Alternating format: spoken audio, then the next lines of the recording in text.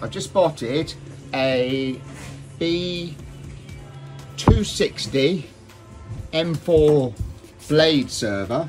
Uh, and uh, if you put another one of these on top, uh, it turns it into a B460 M4 blade.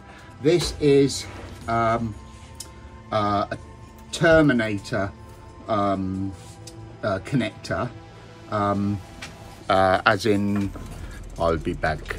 Two of these, put one on top of each other, remove that, put a dual version, um, which is a double height Terminator, and then it turns this from a B260 to a B460. Anyway, there are three different platforms of these. I think it, and the processors in them are uh, V2, V3 and a V4. They're not, you can't mix and match. Um, but uh, anyway, have a great day. See ya. Bye.